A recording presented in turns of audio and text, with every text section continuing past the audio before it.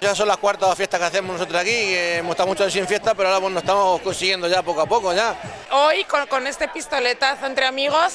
nos metemos en, en- en todo el lío de San Juan y digo el lío de San Juan porque ya sabéis que es Vereda, es San Fortunato, es San Juan, son los finales de las escuelas deportivas. Cada año intentando mejorar lo posible, damos refrescos, invitamos a todo el barrio, bocadillos, bueno, hacemos todo un poquito, música, como vamos pudiendo, porque el presupuesto de aquí, bueno, pues son humildes, vamos, como eh, ponemos parte de la asociación de vecinos que- y por parte también del ayuntamiento una pequeña pincelada, pero bueno, entre todos pues vamos consiguiendo que todos los barrios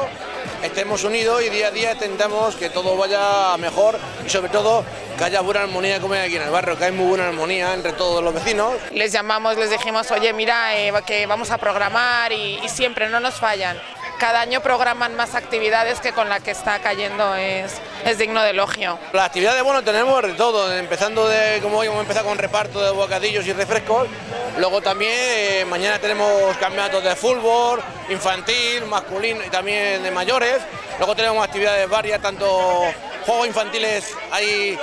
muchísima variedad de la manzana, de juegos, luego también tenemos 5.000 globos de agua preparados, bueno, una variedad muy amplia de, de- de actividades para que la gente se lo pase eh, todo el día, o sea, mañana todo el día, de por la mañana hasta por la noche tenemos todo el día. Y el domingo pues, también tenemos otras pequeñas actividades, también campeonato de MU, bueno, y etcétera. O sea que ahí, bueno, diversión aquí no, no, no nos falta continuo.